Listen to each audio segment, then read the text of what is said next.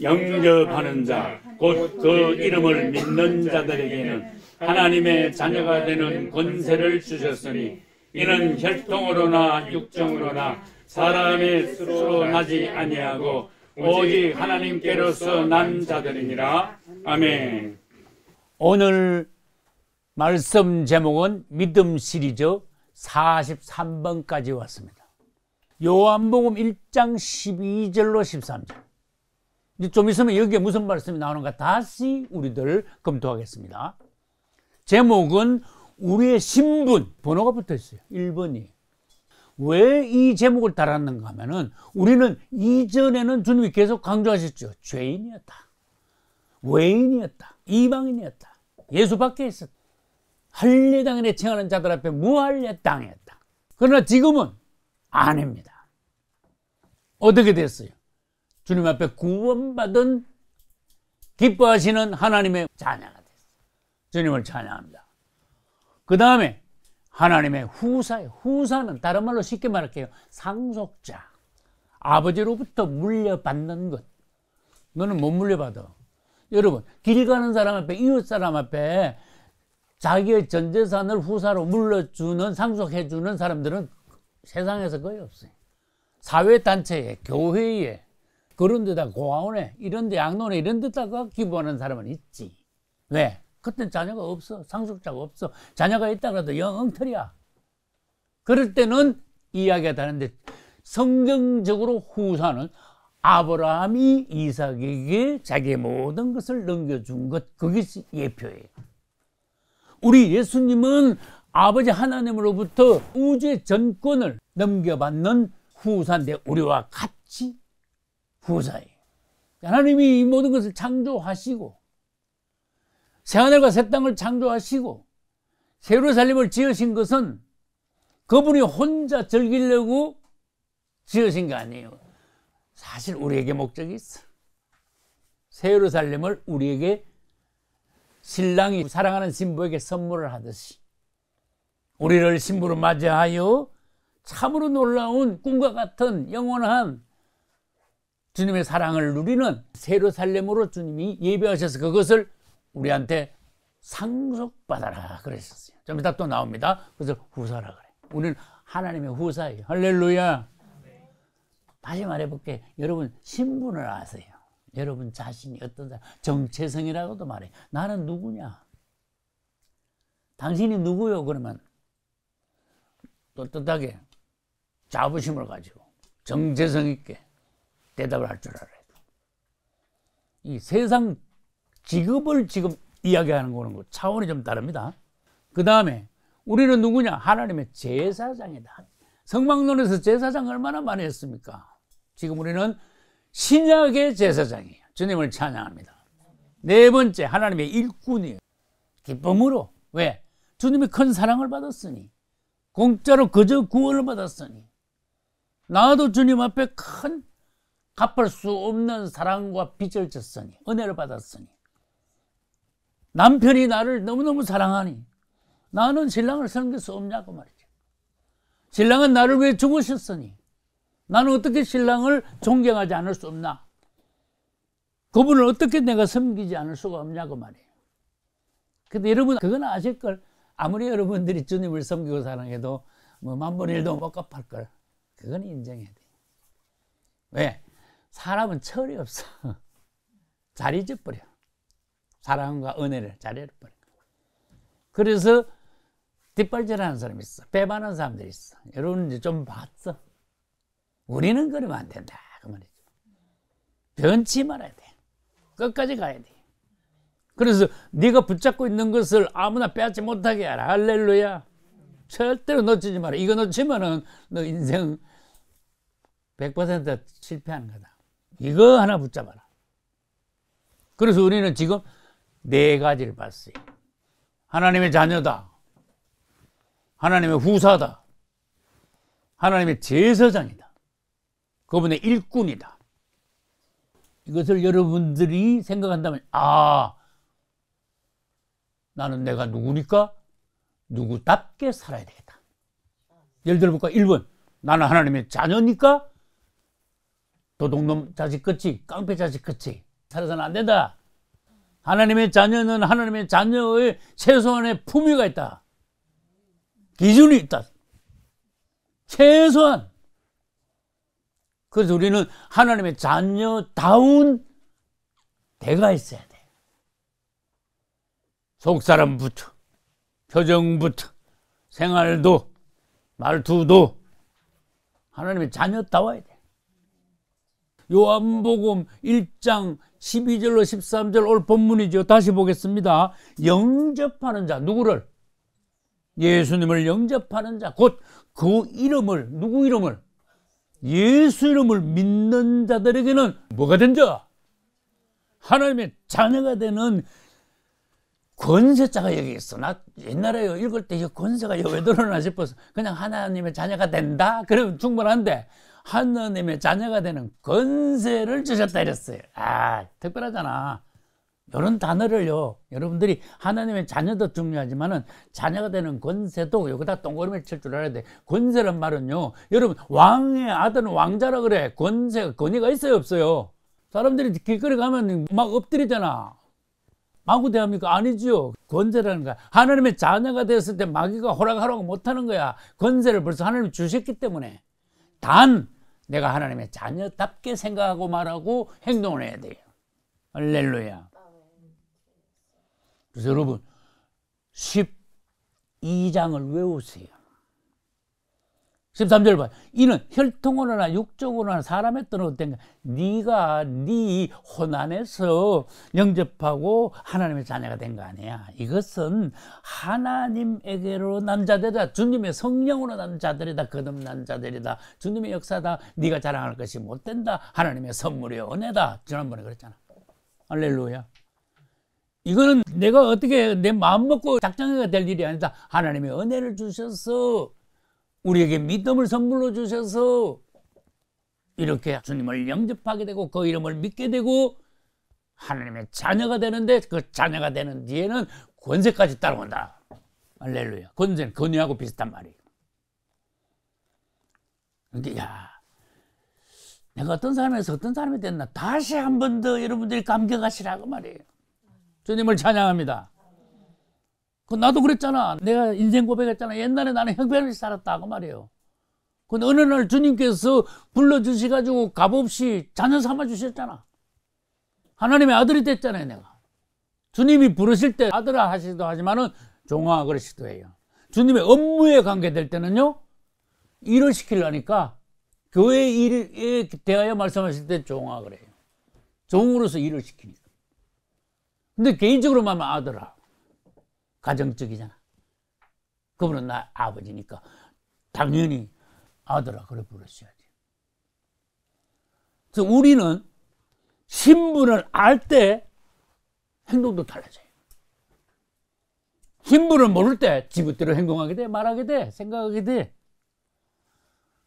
나를 아는 것은 굉장히 중요합니다. 나의 존재성, 나의 인생의 목적, 내가 왜, 뭐 때문에 났냐? 짐승으로 났냐? 아니잖아요. 아무 의미도 없이 그냥 살아가냐? 아니잖아요. 여기 있다가 저기 있다가 아무 생각도 안 하다가 살다가 그냥 그냥 죽는 거야? 아니다. 사람은 그렇게 난 게 아니에요. 지난번에 그랬잖아요. 우리는 주의 만드신 바라 선한 일을 위하여 지원받았다. 할렐루야. 그분이 선한 일을 목적을 가지고 우리를 만드셨으니까 하나님의 자녀가 됐으니까 우리의 인생의 목적 뭐를 해야 되나? 가치성. 나한테 뭘 맡겨주셨나? 직분. 어떤 책임을 달란트를 주셨나? 책임. 이런 것이 다 동반함으로써 하나님의 자녀로서 우리들이 바르게 살고 마침내 주님을 만났을 때 성공하는 거예요. 칭찬받는 거예요. 지금보다 여러분 더 잘할 수 있습니다. 나도 남은 생에 이제 마무리를 해야 되는데 더 잘하고 싶어요 내 마음이. 이만큼 했으니까 대강호 맞지다 나 그건 아닙니다 마무리를 어떻게 하면 잘하냐. 유종의 미. 알렐루야. 끝이 들어오면 다 좋다. 여러분, 우리의 신분이 바뀌었다는 말씀을 여러 번 드렸어요.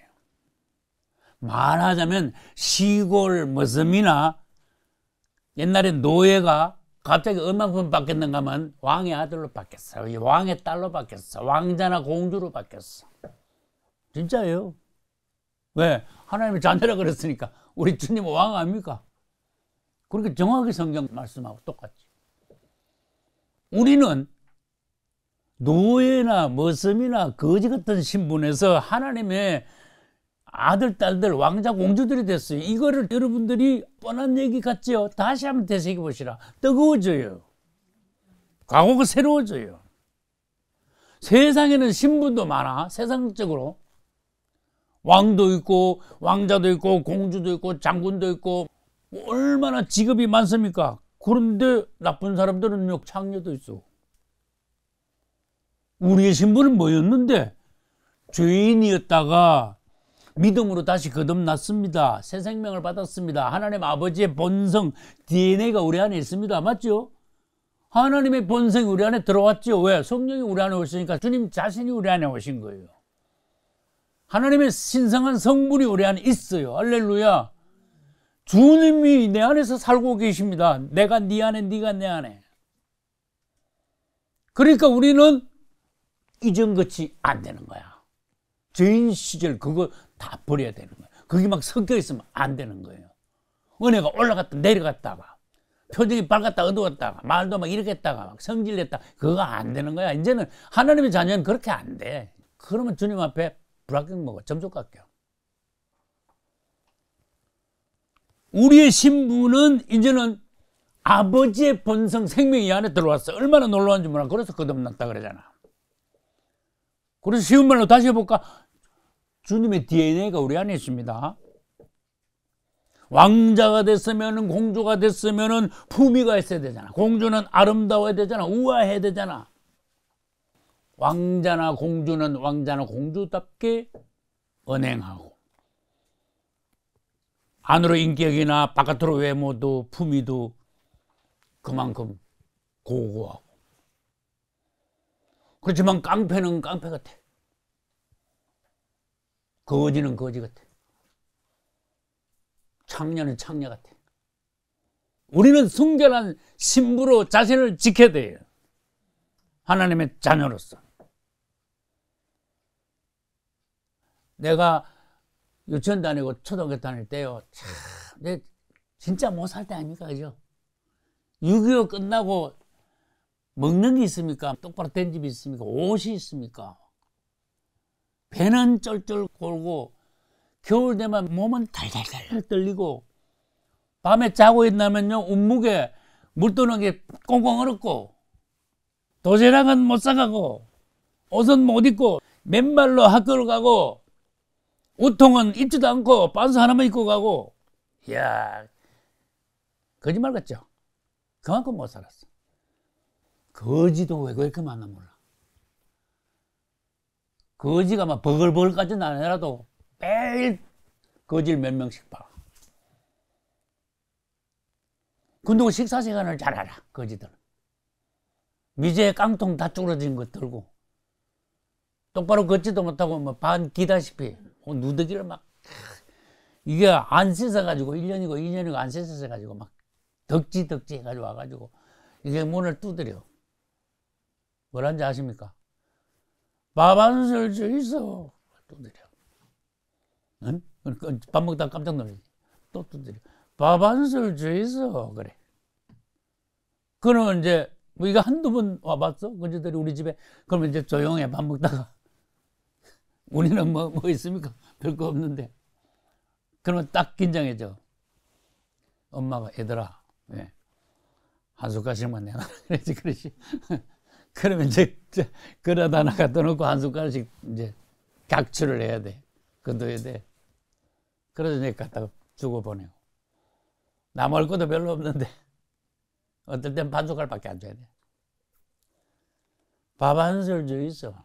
그 다음에 길거리에서 밥 안 먹는 사람은 길거리에 앉아가지고 깡통 하나 갖다 놓고 또 어떻게 해요? 돈한 푼줘 있어. 우린 거지가 아니죠, 지금. 하나님 아버지가 얼마나 부자인지 모르겠죠? 말도 말도 못하게 부자예요. 여러분 굉장히 부자 하나님을 두셨어.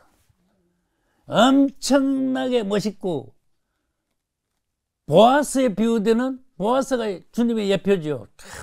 잘생겼고 부자고 인격 좋고 부인을 그렇게 사랑하고 그런 예수님의 신부가 됐어. 세례 사람 다 우리 거야. 이따가 성경 읽어드릴게. 우린 거지가 아니에요. 어디 다니면서 남한테 손 벌리지 말아요. 거지가 아니에요. 내가 건축하면서 누구한테 돈 없다고 공세간 소리 했습니까? 너. 그건 자존심 문제야. 왜? 하나님의 자녀의 자존심 문제야. 하나님의 교회가 빙고하던 티, 그거 내는 거 아니야. 떳떳해야 돼. 마귀는 보겠지. 저, 저거 어떻게 지냐, 언제 지냐, 하고 맨날 보겠지. 너들 좀 기다려봐. 놀랄 때가 올 거야. 이건 하나님 집이야. 주님은 스스로 그분의 영광을 지키십니다. 우리를 기뻐하시는 일꾼으로서 주십니다. 알렐루야. 마태복음 6장 9절에는 너희는 이렇게 기도하라. 하늘에 계신 우리 아버지요. 야, 나 옛날에 이거 읽고 눈물 나더라고. 자, 하나님 아버지가 우리 아버지구나. 야, 그냥 집에서 뭐 아버지, 아버지하고 하는데 옛날 우리 아버지한테 살아계실 때. 근데 하늘에 계신 그 하나님을 우리 아버지 할 때 그 아버지란 단어가 오는 어감이 너무 틀리더라고. 참, 그만큼 듣기 좋고 달콤한 아버지. 너무너무 좋은 우리 아버지. 얘들아, 이제 너의 아버지는 하늘에 계신 하나님이시오. 하나님이 너의 아버지시오. 똑바로 알아야 돼. 너희는 하나님의 자녀야. 이거는 영원히 변할 수 없는 일이야. 그래서 우리의 신분, 하나님의 자녀. 자, 멋있죠? 영접하는 자, 곧 그 이름을 믿는 자들에게 하나님의 자녀가 되는 권세를 주셨다. 참, 얼마나 멋있어요. 당당하세요. 떳떳하세요. 자녀다우세요. 남한테 쫄리지 말고. 난 주변 사람들한테 그래. 남 눈치 보지 마라. 뭐 죄졌어? 떳떳해라. 당당해라. 그렇다고 남을 무시하는 건 아니고 교만한 건 아니다. 당당해라 그 말이야. 하나님의 자녀다운 품위, 인격, 미덕, 모범적인 거. 그러니까 여러분 다시 강조합니다. 떳떳하게 사세요. 당당하게. 하나님의 자녀답게. 품위가 있어야 돼. 인격이 고상해야 돼. 할렐루야. 로마서 13장 12절 하나님의 자녀이므로 이제는 우리가 천민같이 살아서는 안 된다. 빛의 갑옷을 입어라. 데살로니가 전서 5장 5절에는 너희는 다 이제는 하나님의 자녀이면서 빛의 아들들이다. 두 번째, 하나님의 후사. 후사가 뭐라 그랬죠? 상속자. 물려받는 거야. 아버지로부터 아들이 모든 것을 물려받는 거야.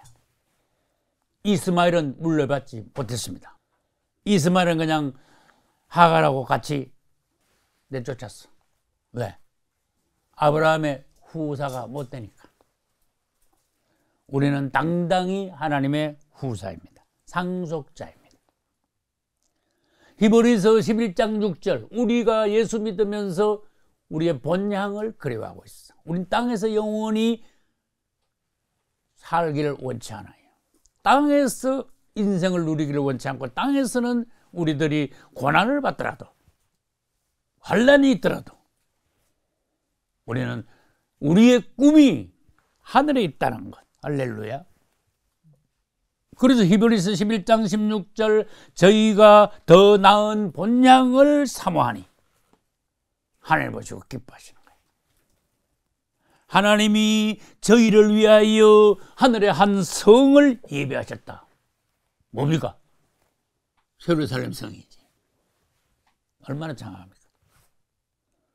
로마서 8장 17절 자녀이면은 너희가 하나님의 자녀라면은 후사 곧 하나님의 후사요. 그리스도와 함께한 후사니. 주는 거 그러니까 부부니까 당연하지. 그리스도와 함께한 후사지. 한 몸이니까. 그러나 우리가 영광 받기 위하여 고난도 함께 받아야 되느니라. 고난이 따른다는 것을 강조하셨어요. 마지막 때 가면은 마태복음 25장 34절에 백보자 심판이라고 했어요. 마지막 심판이라고도 합니다. 양과 염소를 딱 앞에 모으시죠. 오른쪽에는 양, 왼쪽에는 염소. 양들에게 주님이 하시는 말씀 다시 성경 말씀을 인용합니다. 내 아버지께 복 받을 자들이여. 야, 이거 얼마나 멋있습니까? 주님 아직 판결 하시는 거야. 이리 오너라 나와 창세로부터 너희를 위하여 예비된 나라를 이번엔 뭐 하라 그랬어요? 상속하라 그러셨어요. 할렐루야. 다 가져가라. 상속하라. 너희를 위한 것이다. 이거는 현실이 됩니다. 우리는 그 나라를 같이 누릴 겁니다. 1886년에 올해도 됐죠. 우리 할아버지가 태어나셨어. 그래서 우리 할아버지는 경북 상주에서 그 내가 우리 아버지한테 대강 들으니까 우리 할아버지 뭐 하셨어요? 그 상주에서 막걸리 공장 하셨다 이러시더라고. 그 기술이 있으셨나 봐. 그런데 우리 할아버지가 30세 넘어서 1919년에 우리나라에 무슨 사건이 벌어졌어요? 그에 우리 아버지가 태어나셨어요. 근데 우리 아버지는 옛날엔 공부를 많이 할 수 없잖아. 일본 사람 밑에서 공부를 했는데 중학교 나오시고 일본 사람 청량 기술자한테 청량을 배워가지고 내가 약간 과장할게. 우리나라에서 청량을 제일 잘하시는 분이 됐어. 어려운 청량은 어떤 청량인가 나중에 설명할게요.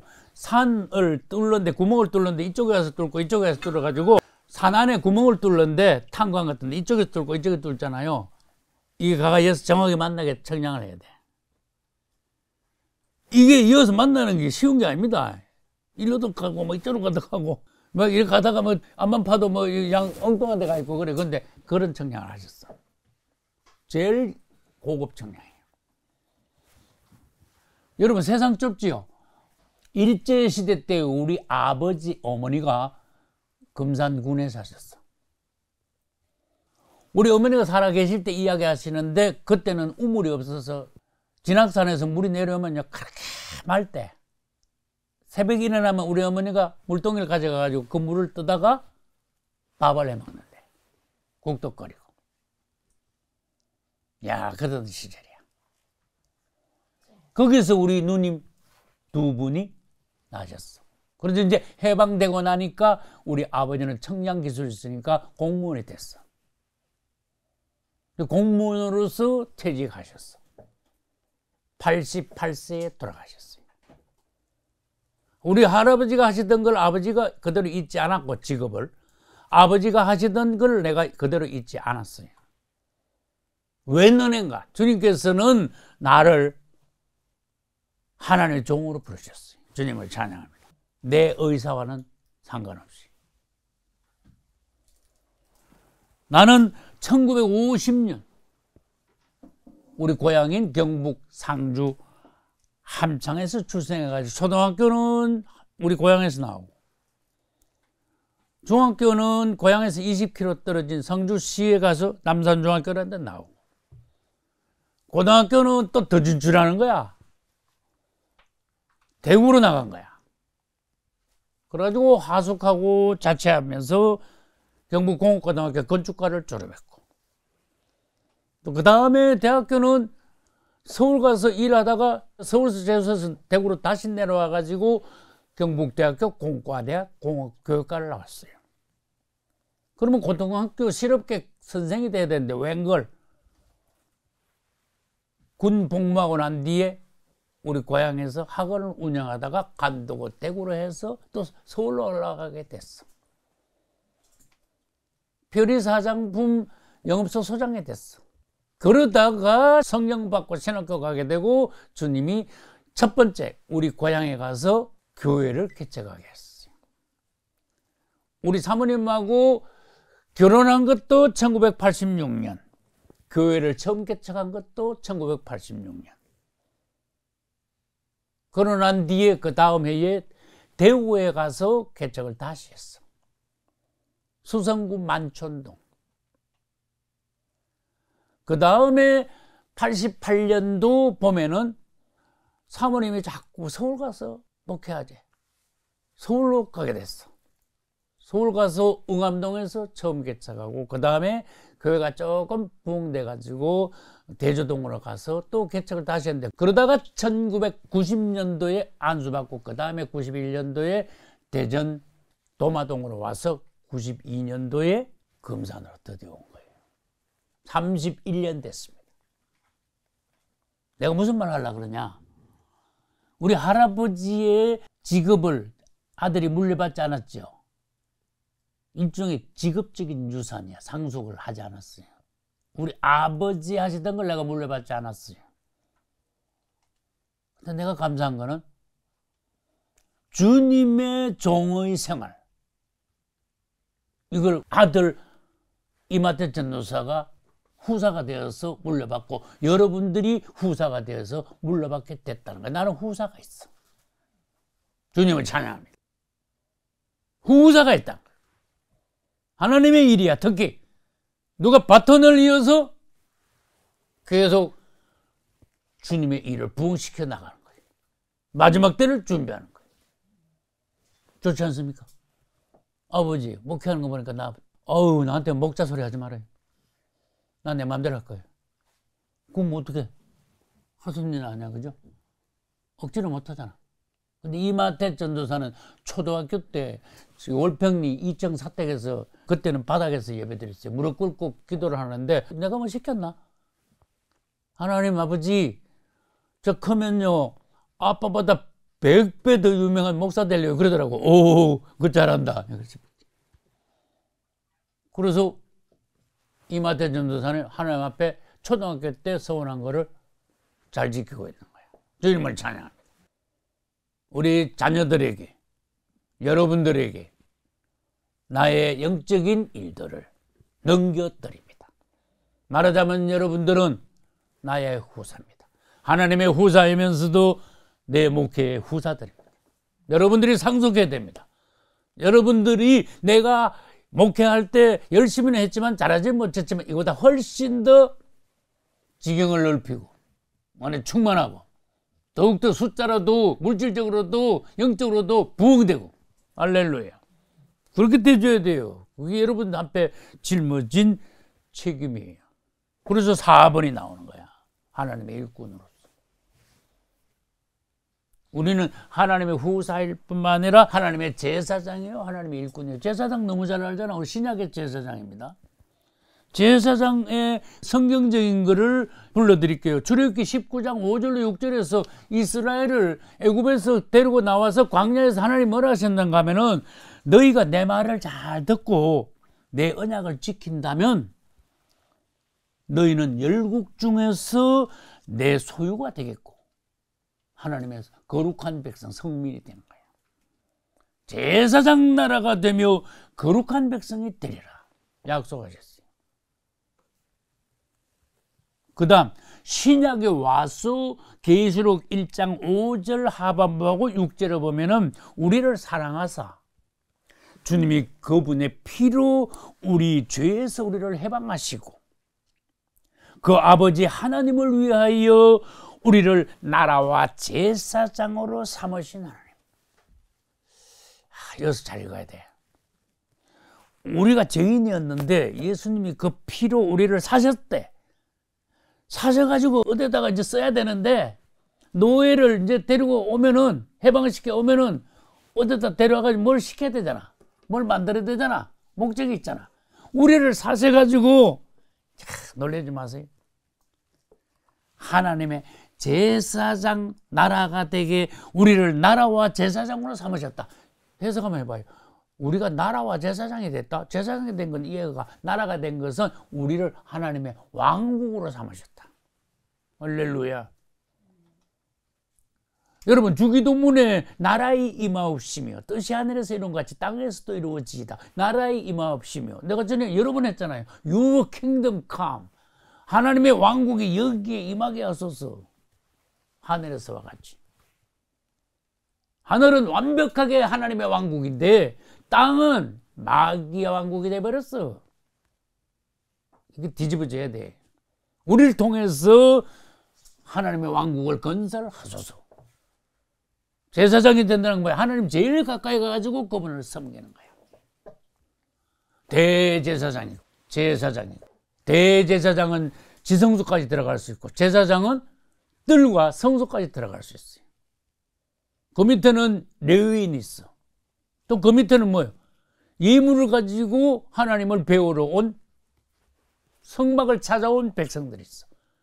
그리고 백성들이 많다고 해서 다 성막 찾아오냐? 저 바깥에서 텐트 치고 있는 일반 백성들이 있어. 그래도 은혜는 입어. 아침마다 만나는 내려 생수는 먹어.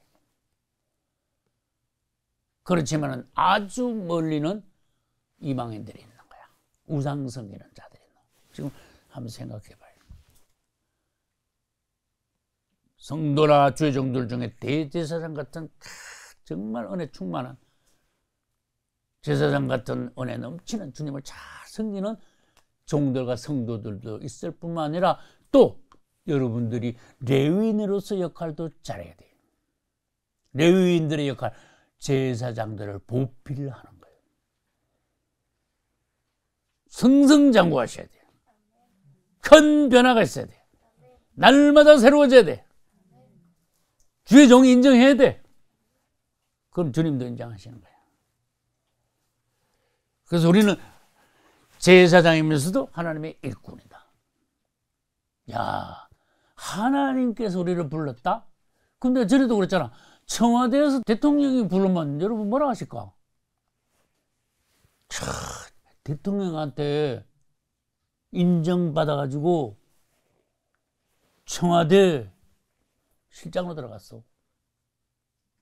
자랑거리죠, 그죠? 근데 하나님이 하나님의 일을 시켜야 되겠는데 하나님은 그분 스스로 일하시거나 천사를 통해서 일하지 않습니다.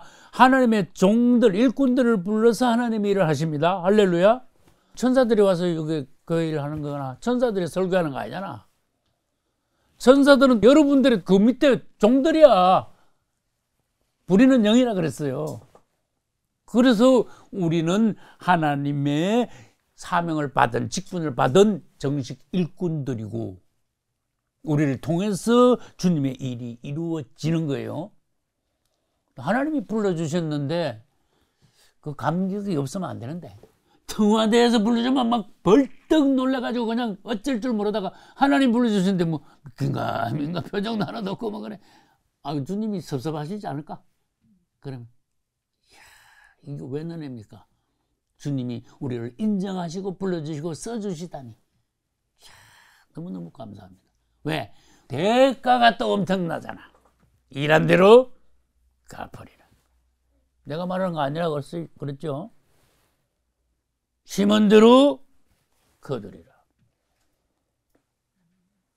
성경에 잠시 잠깐 후면 그런 말이 있어요. 예수님도 십자가에 못 박히시면서 부끄러움을 참으셨다 그랬어요. 그 뒤에 무엇이 오는가 그분은 아시기 때문에 십자가의 부끄러움을 참으셨다. 참, 참 놀라운 말씀이에요. 우리는 남한테 무시당하는 거, 억울함을 당하는 거 못 참는 수가 많죠. 그러나 우리 속에는 옹졸한 것 때문에 그래요. 마음이 좁아서 그래요. 주님 앞에서 해야 돼요. 주님은 다 보셔. 다 보시느니라. 다 아시느니라. 사람을 향해서 뭐든지 하지 마라. 주님 앞에서 해라. 내가 여러분들이 예를 들어 볼게요. 헌금을 엄청 했어, 누가. 근데 다른 사람 발표했는데 그 사람이 헌금 발표도 안 했어. 그래. 섭섭한 마음이 썩 들어와. 그 아직 한참 훈련돼 봐야 됩니다. 그 다음에 봉사를 남들보다 10배 했어. 근데 알아지도 않아. 그 엄청 섭섭한 마음이 썩 들어옵니다. 그거 아직 멀었습니다. 하나님 앞에 사세요. 겸손하세요. 여러분은 여러분 자신의 마음도 컨트롤 못하면 실패하는 그리스도인이 돼요. 마태복음 24장 45절 충성되고 지혜 있는 종이 되어 주인에게 그 집 사람들을 맡아 때를 따라 양식을 나눠 줄 자가 누구냐? 그 종은 복이 있으리로다. 할렐루야. 그리고는 착한 종들에게 마태복음 25장 21절 23절 똑같은 말씀 잘하였도다. 그랬어. 착하고 충성된 종아. 나 이거 읽을 때마다 기분 좋더라. 나 이, 주님 앞에 가서 나 이 말씀 들어야 되겠어. 소망이 돼. 잘했다, 종아. 착하고 충성된 종아. 네가 시골 교회 작은 교회를 맡았었느냐? 네가 작은 일에도 충성했잖냐? 그러니까 내가 많은 것으로 너에게 맡기리니 내 주인의 즐거움에 참여할지다. 천국을 누리는 거야. 세월사람을 같이 누리는 거야. 할렐루야. 계시록 12장 11절 또 여러 형제가 어린 양의 피와 자기의 증거하는 말을 인하여 저를 이기었으니 마귀를 이긴 거예요. 그들은 죽기까지 생명을 아끼지 아니하였다. 자, 멋있죠? 죽기까지 생명을 아끼지 않으니 원수들을 이기고 하늘의 즐거움을 누린다. 잘하였다 착하고 충성된 종아. 12절. 그러므로 하늘과 그 가운데 거하는 자들은 즐거워라. 벌써 휴거 된 거예요. 그러나 아직도 휴거 못 되고 그러나 땅과 바다는 화했을진저 이는 마귀가 자기 때가 얼마 못된 줄 알므로 크게 분내어 너에게 내려갔습니다. 후 3년 반 지금 대환란이 착 비치는 거예요. 지금. 그 다음에 계시록 2장으로 가보겠습니다. 계시록 2장 10절. 네가 앞으로 장차 받을 고난을 전혀 두려워하지 마라. 하나님이 너와 함께 하시니까 어려운 일 온다고 귀가 질리거나 어쩔 줄 모르거나 낙심하거나 그러지 마. 당당해. 마귀하고 싸우는 거야. 절대로 쫄리지 마. 마귀가 장차 너희 가운데서 몇 사람을 오게 던져 시험을 받게 하리니. 이건 주의 종들 중에 대표들이에요. 몇 사람이라. 예수님 오시기 전에. 너희가 10일 동안 환란을 받으리라. 잠시 환란과 역경이 우리 앞에 고난이 닥칠 것이니까 그거 두려워하지 마라. 그거 지나가야 돼. 내가 죽도록 충성하라. 그래야만 내가 생명의 멸류관을 내게 주리라. 할렐루야. 야, 놀라운 우리 앞에 놓여진 축복. 주님이 우리에게 주신 큰 은혜. 할렐루야. 하나님의 자녀가 되었으니 기쁨과 감사와 감격이 넘쳐야 됩니다. 할렐루야. 우리가 같이 주님의 천국을 이루어 갑시다. 여러분 모두 다 진정한 하나님의 자녀들다운 하나님이 기뻐하시는 세루살렘에 들어가게 조금도 부족함이 없는 성도가 되시기를 예수 이름으로 축복합니다.